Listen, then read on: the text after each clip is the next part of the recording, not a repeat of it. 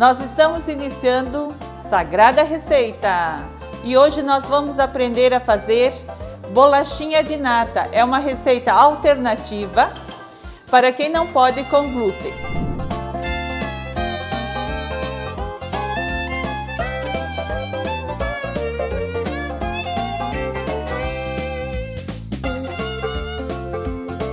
Nós vamos precisar um ovo, uma colher de manteiga, uma xícara de nata, uma pitadinha de sal, uma xícara de açúcar, uma colher de royal e mais ou menos 800 gramas de amido de milho.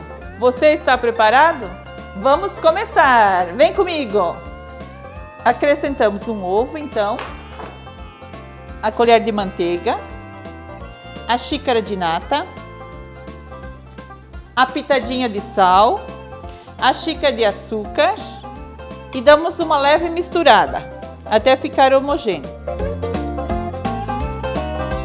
Você vai perceber que a massa vai ficar muito bonita. Perceba como a massa ficou maravilhosa. Você vai acrescentar agora, aos poucos, amido de milho. A gente acrescenta aos poucos porque daí a massa vai é, se incorporando melhor e talvez não precise de todo o amido. Essa massa, minha gente, tem um tempo de preparo de mais ou menos uns 30 a 40 minutos para você deixar a receita pronta. Agora que a massa está quase pronta, nós vamos acrescentar o royal. E mais um pouco, damos uma mexida acrescentamos mais um pouco de amido de milho. Perceba que como sua massa está ficando dura, você pode pôr as suas mãos para amassar.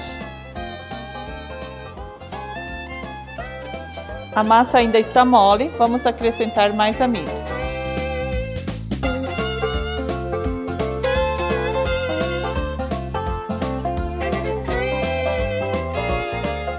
Lembrando que você pode acrescentar nessa receita raspa de uma laranja, de um limão, coco, o que você quiser dentro dessa receita fica maravilhosa.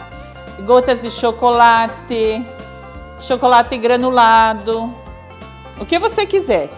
A massa tem que ficar assim, bem firminha, que você possa fazer bolear, fazer bolinhas, como você quiser. Então, nossa massa está pronta, ficou bem firminha. Você vai pegar um punhadinho e vai fazer uma bolinha, mais ou menos uma colher. E você vai pôr numa assadeira untada e enfarinhada. Depois você vai com o garfo e vai dar uma leve achatadinha em cima dela, para ficar marcadinha, ficar bonita. Depois de nossos biscoitos prontos, vamos pôr eles para assar. Leva mais ou menos uns 15 minutos para ficar pronto. A nossa receita acabou de sair do forno. Vamos ver como ficou? Olha que maravilha! Ficaram muito bonitas, deliciosas. O nosso biscoito de nata. Gostou da nossa receita? Curta, compartilhe, nos siga e até a próxima!